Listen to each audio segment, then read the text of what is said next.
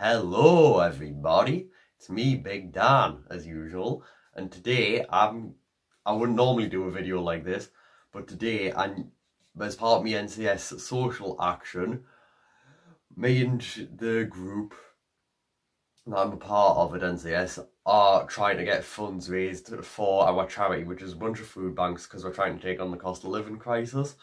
Um, we've set up a TikTok account. Uh, I've linked that down in the description and we've set up a not a GoFundMe, but it's like another one of the charitable donation type sites. So if you've got any spare money, like even if it's just I don't know, fucking one cent, then uh, even to spare, then just add it. Like even if it even if it's just like a penny, then like anything helps. Like even if like I said, even if it's just a penny, we want your damn pennies. Okay.